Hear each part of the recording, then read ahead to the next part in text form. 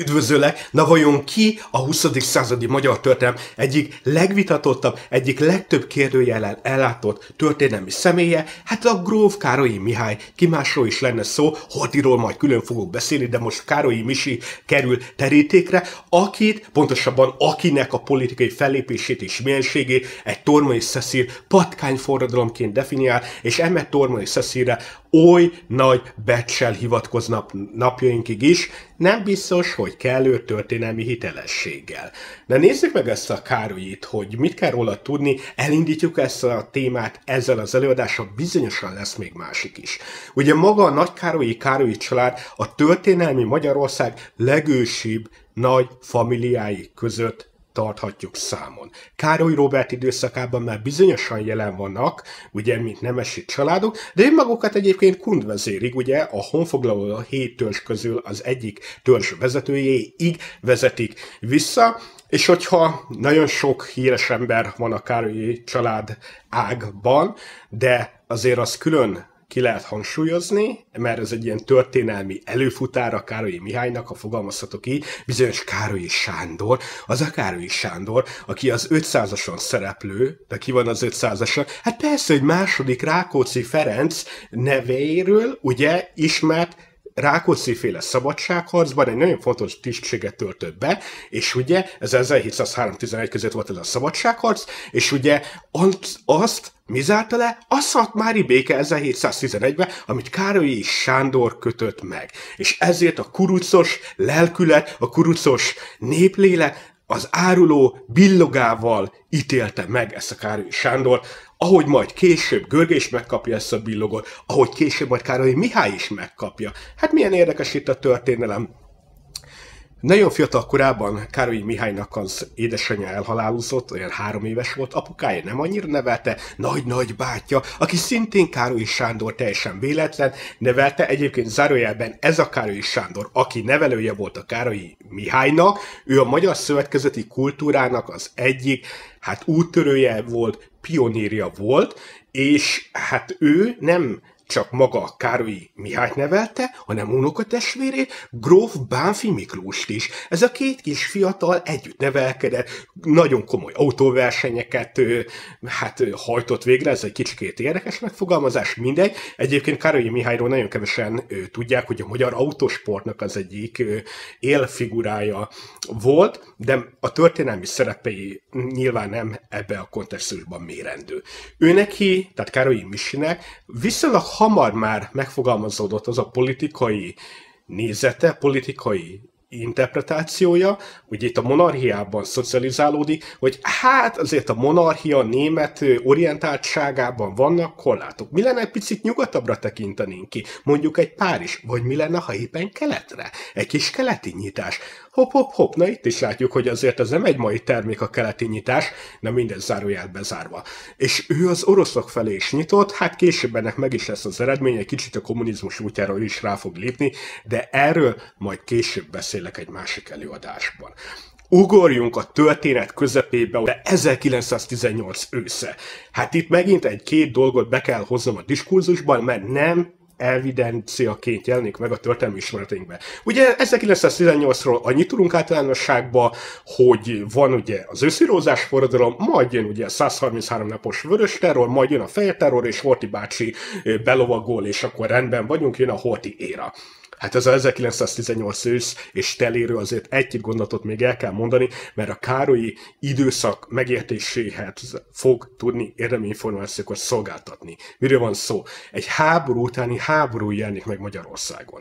A frontról hazatérő katonák mindent akartak, csak háborúzni nem. Ezek a katonák kiábrándultak voltak, lelki vagy fizikai sérültek, és rohassok méreggel voltak telítve. Nagyon sok helyen a jegyzőhivatalt feldulták, esetek egy részében jegyzőket ki. Is nyírták, hiszen őket tették felelőssé azért, hogy a háborúba nekik ott kellett rohadni a frontvonalakon, tehát a hatalom megtestesítő iként próbáltak vendettát, vérbosszút venni sok helyen a jegyzőkön. Feltörték általában a vegyesboltokat, a pálinkát elfogyasztották. Sok helyen terrorizálták a lakosságot. Vannak olyan határmenti települések is, ahol a település irányítói úgy gondolkoztak, például ott a szerbek környezetében, hogy a szerberőket talán érdemes beírni a településre, mert a hazatérő magyar katonák, mert nem lehet bírni, hát terrorizálják a helyi lakosságot.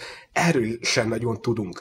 És kélek szépen, tehát a politikai stabilitás teljesen megszűnt, a társadalom annak az összetartó szövete megszűnt. Vidéken a parasztok már nem voltak hajlandók eladni a terményeiket. A, a pénz annyira inflálódott, hogy egyszerűen azt mondták, hogy Hát én a búzát, én a kukoricát, a diszóval megetetem. Hát az is többet ér, mint hogy a semmiért odaadjam a drága terményemet, amiért én annyira megdolgoztam, és ugye itt már élelmezési problémák is kezdtek felütni a fejüket. Egyébként sokkal később, mint például Ausztriába vagy Németországba.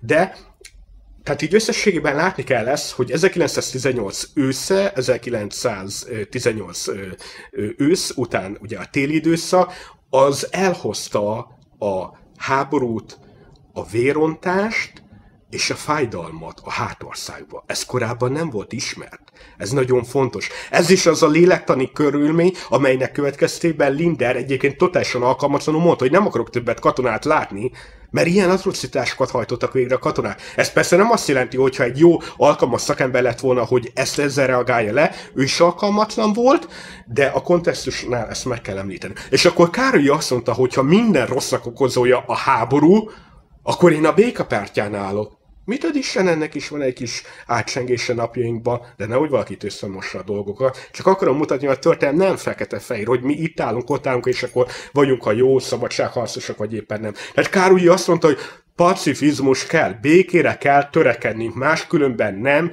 tudunk kilábalni ebből az körülményből, amelybe süllyedtünk, és ugye ez a pacifizmus lesz az, ami talán az Antantot Antant hatalmakat is jobb belátásra bír Magyarország esetében. Tökéletesen félreértette. Tehát a geopolitikai helyzetet és körülményeket. Tehát Károlynak ez volt ugye az egyik legnagyobb hát hibája, hogy politikailag, geopolitikailag totálisan alkalmatlan gondolkozással rendelkezett, hát békédében egy közösszerű politikus lett volna, de egyébként ilyen vészszeres időszakban hát mondjuk nem lehet irigyelni, bárki töltette volna be az ő pozícióját, de ő alkalmatlan volt. Na és akkor azt mondta, hogy a pacifizmus már nem tud sikeres lenni, nem tud eredményes lenni, akkor mi van, hogyha egy picit megpróbálunk keletre fordulni? Kérlek szépen, és itt egy fél gondolatot most megint meg kell ejtenem. Miről van szó?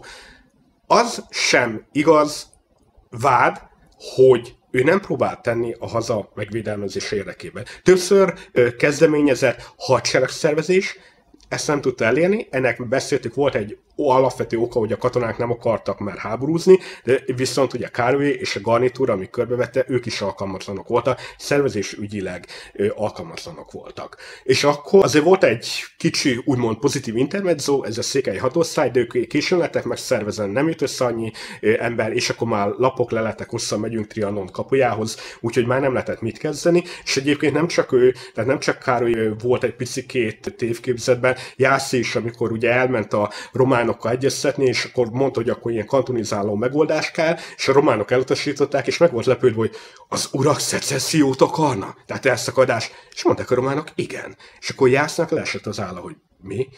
Szóval azért ott több oldalról sebzett volt ez a bizonyos kárői kormányzatnak a struktúrája, de tény, hogy összepróbált hadsereget szervezni. És ezek nem jöttek össze, látta, hogy a nyugattal már nem lehet mit kezdeni, és akkor forduljunk keletre. És akkor azt mondta, hogy ott van Lenin, Lenin ugye sikeresen halad előre, földet oszt, jön a világforradalom, és akkor úgy gondolta, és itt figyeljél, hogy a világforradalom Magyarországra való betörése lesz az, amely az imperialista hatalma helyi kiszolgálóit, mondjuk a szerbeket, a románokat kisöprik Magyarországról. És amikor ugye az első visszjegyzéket elutasította, ami ugye felvidékről azt mondta, hogy a történelmi Szlovákia területéről vonuljak vissza a magyarok, arra azt mondta, hogy milyen történelmi Szlovákia?